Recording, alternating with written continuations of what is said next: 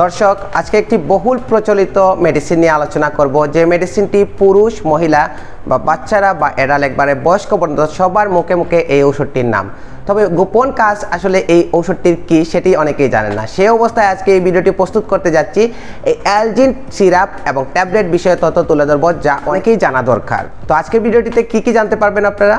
এই অ্যালজিন সিরাপ বা ট্যাবলেট কি কি কাজে ব্যবহৃত হয়?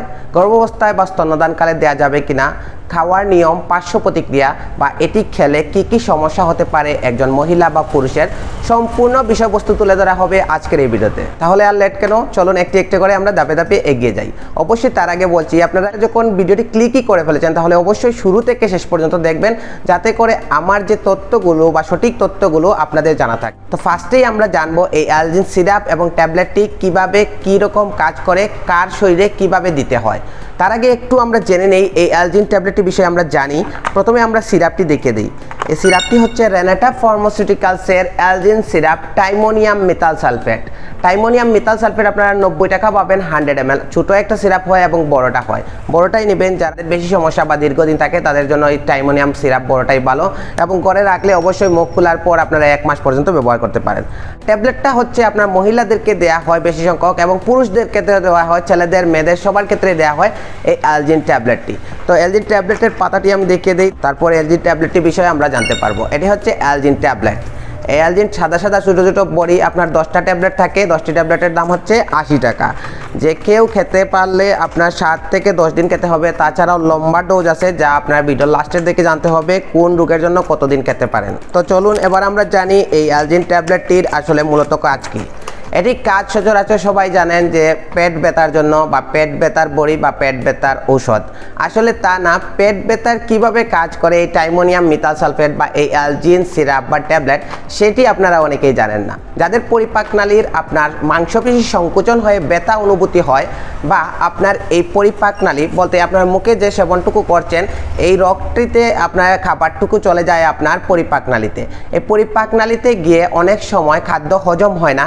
এই হজম না হওয়ার ফলে বা অ্যাসিডিটি বেড়ে গেলে আপনার কিন্তু মাংসগুলো সংকোচন হতে থাকে এবং এক সময় দেখা যায় যে আপনার পেট ব্যথা অনুভূতি হচ্ছে, চিনচিন করে ব্যথা করছে এবং গ্যাস্ট্রিকের ওষুধ খাওয়ার পরও আপনার কমতেছে না। যদি এরকম পরিপাকনালীর ব্যথা থাকে, সেই ক্ষেত্রেও কিন্তু এই অ্যালজিন সিরাপ এবং ট্যাবলেট দেওয়া হয়। দ্বিতীয়ত যেটি কাজ করে, সেটি হচ্ছে পিত্ততন্ত্র। পিত্ততন্ত্র বলতে পিত্তথলিতে যদি কোনো ধরনের পাথর থাকে বা কোনো ধরনের ইনফেকশন থাকে বা পিত্তথলিতে প্রস্রাবের কারণে যদি কোনো সমস্যা থাকে, সেই ক্ষেত্রে কিন্তু আপনার ব্যথা অনুভূতি হতে পারে পেটের মধ্যে এবং এই পিত্ততন্ত্রের যদি সংকোচনের কারণে আপনার পেট ব্যথা হয়, সেই ক্ষেত্রেও কিন্তু এই ধরনের কাইমোনিয়াম মেথাল সালফেট বা এলজিন সিরাপ ট্যাবলেট দেওয়া হয়। আরেকটি হচ্ছে জরুরি পয়েন্ট তিন নম্বরে, সেটি হচ্ছে মূত্রাশয়। মূত্রাশয়ে যদি কোনো ধরনের ইনফেকশন থাকে, তাহলে ইনফেকশন কিল করার জন্য বা মারার জন্য আপনি অ্যান্টিবায়োটিক চিকিৎসকগণ দিয়ে থাকেন সাত থেকে চোদ্দ দিন। পাশাপাশি যদি ব্যথা বেশি অনুভূতি হয়, সেই ক্ষেত্রেও কিন্তু টাইমোনিয়াম মিতাল সালফেট দেওয়া হয়। মূত্রাশয় বলতে যে ইউরিনটি আপনার জমা হয় যে জায়গায়, সেই জায়গায় কিন্তু আপনার মাংস সংকোচন হতে পারে এবং ব্যথা অনুভূতি হতে পারে।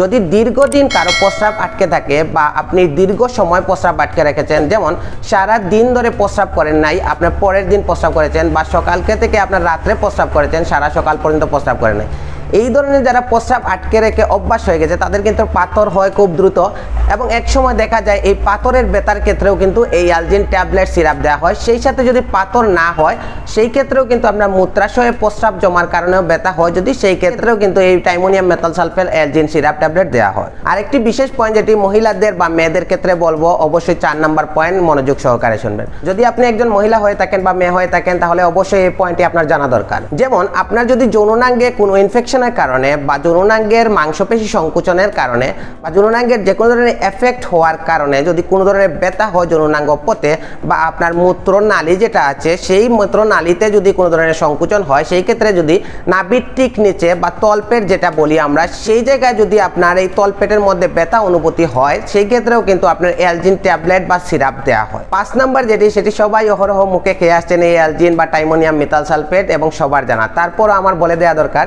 যেমন যেমন মাসিক চলাকালীন সময়ে বা মাসিকের ঠিক দুই থেকে তিন দিন আগে মহিলাদের বা মেয়েদের প্রচুর পরিমাণে ব্যথা হয়। তবে কারও কারও বেশি হয়, আবার কারও কারও কম হয়। যাদের বেশি হয়, সেটি কিন্তু হরমোনাল সমস্যার কারণে হতে পারে। আবার যেটি সামান্য পরিমাণে হয়, সেটি কিন্তু স্বাভাবিক। তবে কোনটা স্বাভাবিক এবং কোনটা অস্বাভাবিক, সেটি আপনার জানতে হলে গাইনি চিকিৎসকের পরামর্শ নিতে হবে এবং কিছু টেস্ট করাতে হবে। তবে সাধারণত দেখা যায় যে প্রতি মাসে স্বাভাবিক প্রক্রিয়া যদি প্রতি একটি নির্দিষ্ট ডেটে এই ধরনের ব্যথা হয়, সেই ক্ষেত্রে কিন্তু এই অ্যালজিন ট্যাবলেট সিরাপ দেওয়া হয় যাতে করে এই মাসিকের ব্যথা বা পিরিয়ডকালীন পেন যেটি আছে, সেটি যেন খুব দ্রুত সেরে যায়। ছয় নম্বরে যে পয়েন্টটি, সেটি হচ্ছে অ্যাপেন্টিসাইটিসের ব্যথা। অ্যাপেন্টিসাইটিসের ব্যথা বলতে আমি বলব না যে অ্যাপেন্টিসাইটিসের ব্যথার জন্য সচরাচর সোজাভাবে যে এই ঔষধটি দেওয়া হয়। অ্যাপেন্টিসাইটিস যদি হয়, তাহলে কোনো ধরনের ঔষধ সেবন না করাই ভালো। কারণ হচ্ছে অ্যাপেন্টিসাইটিস এই রোগটি যদি আপনার ফুলে গিয়ে ফেটে যায়, তাহলে কিন্তু বিরাট ধরনের আপনার জীবনের আশঙ্কা রয়েছে। সেই ক্ষেত্রে আপনার ডাক্তারকে বোঝানোর জন্য আপনার ব্যথাটা থাকা অবশ্যই জরুরি এবং ব্যথার ঔষধ না খাওয়াই ভালো। আপনি যদি খান, তাহলে ব্যথাটা কমে যাবে এবং ডাক্তার ফিজিক্যালভাবে আপনার বুঝতে পারবেন না টেস্ট করার দরকার হতে পারে, যেমন বিভিন্ন ধরনের আলট্রাসোনোগ্রাফি ব্লাড টেস্ট এবং তারপর আপনার দু তিন ঘণ্টা পর আপনাকে ডিসিশন নেবে যে আপনার কি করতে হবে বা অপারেশন কি করতে হবে। সে অবস্থায় যদি আপনি মুখে বলে দিতে পারেন যে আপনার ডান দিকের এই সাইডে অ্যাপেন্ডিসাইটিস তাহলে সচরাচর আপনাকে যে কোনোভাবে আপনার যে কোনো একটা ব্যবস্থা নিতে পারেন। সে অবস্থায় অ্যাপেন্ডিসাইটিস যদি আপনার রাতে হয় বা এমত অবস্থায় হয়, আপনার চিকিৎসক নেই যাকে দিয়ে অপারেশন করাবেন বা উপস্থিত আপনি চাচ্ছেন না কোনো ধরনের অপারেশনে সে অবস্থায় কিন্তু চিকিৎসকগণ প্রাথমিক অবস্থায় আপনার এলজিন, টাইমোনিয়াম ট্যাবলেট বা সিরাপ এ ধরনের ওষুধ দিয়ে থাকেন। আরেকটি হচ্ছে তলপেট ব্যথা। তলপেট ব্যথা অনেক কারণে হতে পারে, প্রোস্টেটের কারণে হতে পারে জরায়ু টিউমারের কারণে বা সিস্টের কারণে হতে পারে, বিভিন্ন হরমোনালের সমস্যার কারণে হতে পারে, যেগুলো হচ্ছে মহিলাদেরকে বেশি দেখা যায় যে এই ধরনের সমস্যা হয়।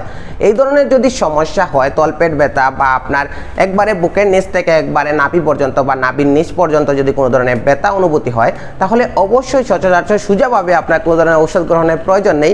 আপনার চিকিৎসকের পরামর্শ নিয়ে আপনার টেস্টের মাধ্যমে সিলেক্ট করে কোন রোগ হয়েছে, তারপর আপনার আপনারা ঔষধ গ্রহণ করা অবশ্যই প্রয়োজন।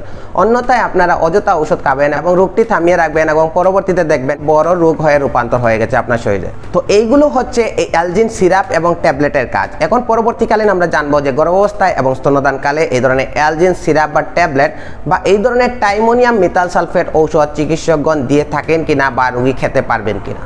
অবশ্যই বলা যায় যে গর্ভাবস্থায় দেয়া যায়, কোনো ধরনের সমস্যা নেই। তারপরও প্রথম তিন মাস যে কোনো ঔষধ সেবনের পূর্বে চিকিৎসকের পরামর্শ নিয়েই সেবন করতে হবে। আর স্তন্যদানকালে তেমন একটা এটি নিয়ে গবেষণা হয়নি। তারপরও কিছু কিছু চিকিৎসক দিয়ে থাকেন এবং কিছু কিছু চিকিৎসক দিয়ে থাকেন না। সেটি রোগ এবং রোগীর কথা বিবেচনা করে ওই মাকে দেয়া হয় যাতে করে কোনো ধরনের এফেক্ট না হয় বাচ্চার এবং মায়ের। তো এই ধরনের অ্যালজিন সিরাপ বা ট্যাবলেট বা এই ধরনের টাইমোনিয়াম মিতাল সালফেট খাওয়ার পর কি কি ধরনের সমস্যা হতে পারে? একজন মহিলার শরীরে বা পুরুষের শরীরে। ফার্স্টে যেটা বলব সেটি হচ্ছে হাইপারটেনশন হতে পারে। হাইপারটেনশন বলতে আপনার উচ্চ রক্তচাপ হতে পারে বা আপনার এই ধরনের গাম গাম অনুভূতি হতে পারে। দ্বিতীয় যেটি সেটি হচ্ছে ট্যাকিকার্ডিয়া হতে পারে। টেকিকার্ডিয়া বলতে আপনারা অনেকেই বুঝবেন না, আমাদের যে বুকের হৃস্পন্দন হয় বা হার্ট বিট যেটি আছে, সেটি হচ্ছে আপনার সত্তর থেকে নব্বই পর্যন্ত হয়। যদি একজন লোকের বুকের পাশে যদি বিট দেয় সত্তর থেকে নব্বইয়ের মধ্যে, তাহলে উনি সুস্থ। যদি নব্বই বা একশোর উপরে উঠে যায় এই হার্টবিটটি, তখন বুঝতে হবে ওনার ট্যাকিকার্ডিয়া হয়েছে।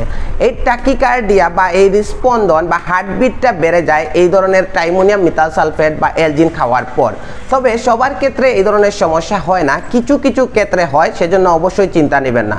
যদি আপনার হার্টবিট বা হৃদস্পন্দন বেড়ে যায়, তাহলে অবশ্যই চিকিৎসকের পরামর্শ নেওয়া জরুরি। তো এই অ্যালজিন ট্যাবলেট এবং সিরাপ কীভাবে খেতে হবে বা কারা কারা খেতে পারবেন?